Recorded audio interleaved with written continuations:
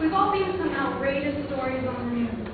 Kid sets his home on fire, elderly woman who's 89 wins the lotto like she really needs it. Tornado rips through a quiet neighborhood, and countless high-speed chases. Many times while watching, I think, that would never happen to me, that's crazy. Well, on February 6th, I was that person on the news. It was a stormy Friday morning. I started to do my chemistry homework, and I just finished talking to my grandpa on the phone. Then I heard frightening noise outside my window. Uh, I had the gut feeling that something was terribly wrong. When I peeked out my window, all I saw was green.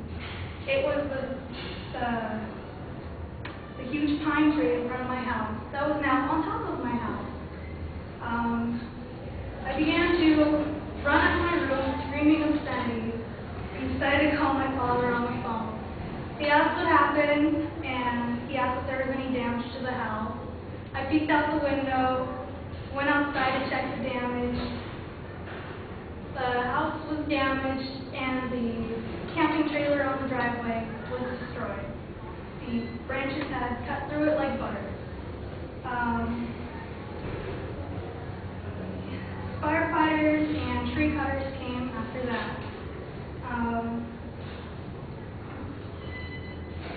uh, I was walking in my hallway, and when I saw the TV in the living room, I saw my house with the tree on top of it.